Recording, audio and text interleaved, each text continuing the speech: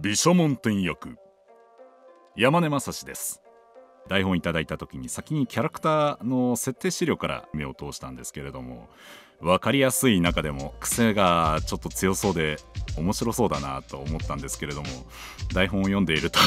まさかそれ以上に癖の強い展開になっているとは思いもせずいや 正直自分もやったことのないような演じ方をしたりした部分もあるので、はい、印象深いキャラクターとなりました。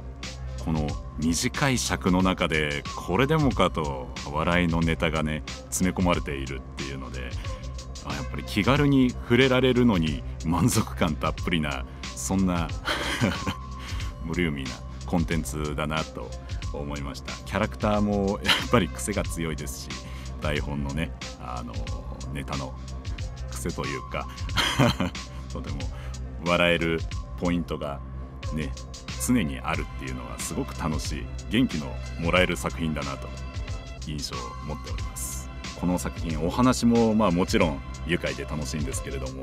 僕としてはあのキャストの一覧を見ただけでも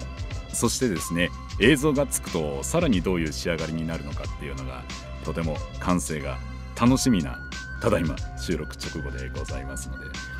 皆さんも必ずとても面白い作品に仕上がってると思いますので